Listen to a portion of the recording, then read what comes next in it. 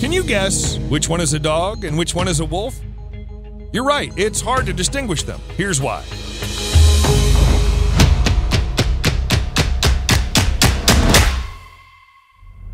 Before we start, the debate of this video is should wolf dogs be legal or illegal and the reason why? Let us know in the comments, and the best opinions will be penned. The physiognomy of an Akita Inu may be similar to that of a wolf, but it's an interesting fact that just like the Akita Inu, even a Maltese, a much smaller dog, has 99.9% wolf DNA. The reason for this similarity is the common genetics. 36,000 years ago, humans created a close connection with a wild animal, the gray wolf. Years of living together have affected the domestication of these animals, and dogs, our best friends, are their direct ancestors. Nowadays, domesticated dogs are bred with gray wolves, eastern wolves, red wolves, and Ethiopian wolves, and as a result, there are hybrids known as wolf dogs. But there are dog breeds that, even though they're not hybrids with wolves, yet they look just like them. So, in this episode, dogs that look a lot like wolves and those that are specifically bred to look like wolves. Alaskan Malamute.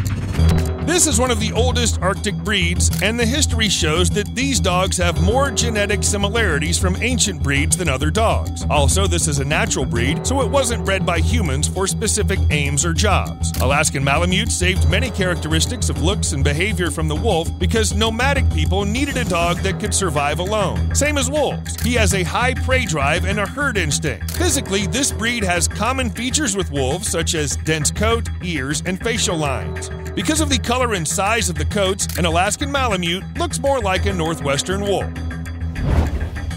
Siberian Husky. With his athleticism and striking eyes, Siberian Husky is one of the breeds that mostly looks like wolves. Another common element is the similarity of the head forms, ear forms, and fluffy tail. Besides this, Huskies have the same method of communication with wolves because, contrary to other dogs, these ones don't bark but howl. This is a primitive feature that allows wolves to communicate in long distances. Both of them have double fur and 42 teeth. Although wolves' teeth are longer and sharper, Siberian Husky is very similar to a gray wolf, especially those that have the same coat color. Samoyed. In DNA studies of a 33,000 year old fossil named Altai dog, it was discovered that the most similar modern breed with this ancient hybrid is Samoyed. This breed is similar to the wolf, mainly with his appearance, face features, curly tail, and white color of fur. With this appearance, a Samoyed looks like a tiny version of a white wolf, except the frightening and intimidating experience. Samoyed have a happy face expression, that's why they have the Smiley Dog nickname. Canadian Eskimo Dog.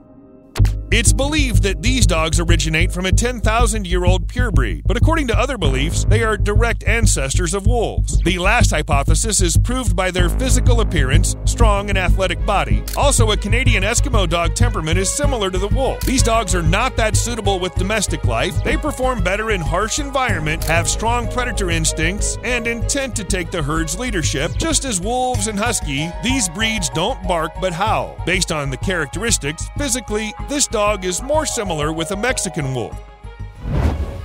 Shikoku.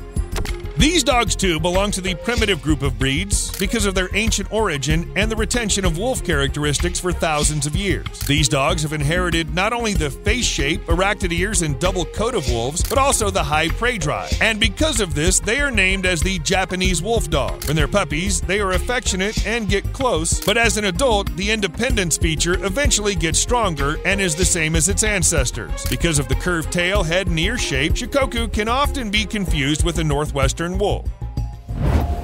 Utonagan. These dogs were bred for the purpose of creating a dog that will physically look like a wolf, but at the same time be as gentle as other domestic dogs. In this breed, there are genes of Siberian Husky, Alaskan Malamute, German Shepherd, and five other dogs that remain unknown. His name is translated as Spirit of the Wolf because not only the size and physical features were inherited by their ancestors, but also some temperament traits like high prey drive and the instinct of a pack dog. But the sensitivity and tendency for connecting with family members he's inherited from the genes of domesticated breeds. The size and color of the coat makes him very similar with an eastern wolf. Tamaskan.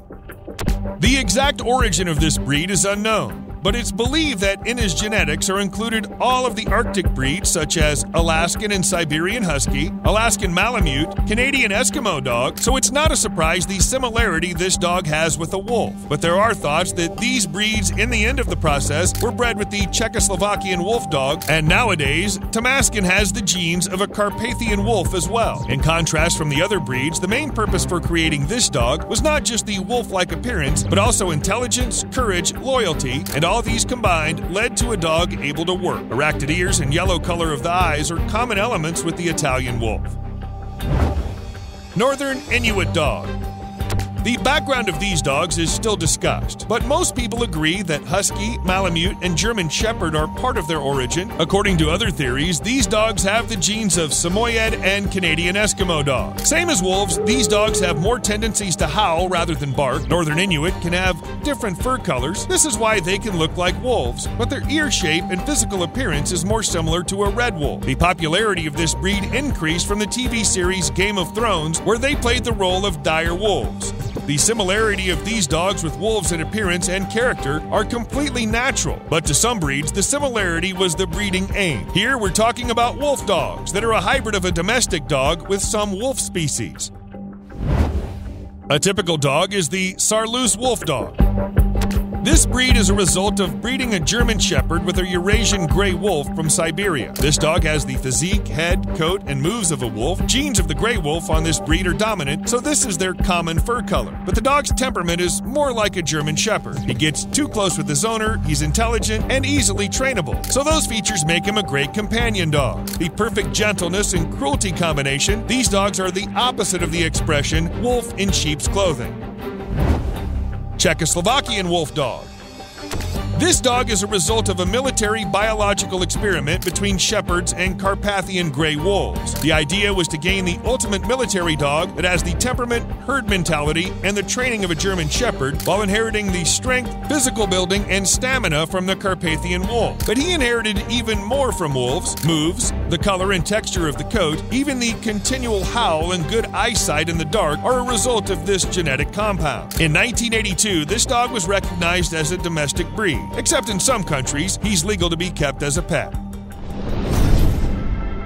Which one do you think looks more like a wolf? And which one would you like to own? Let us know in the comments.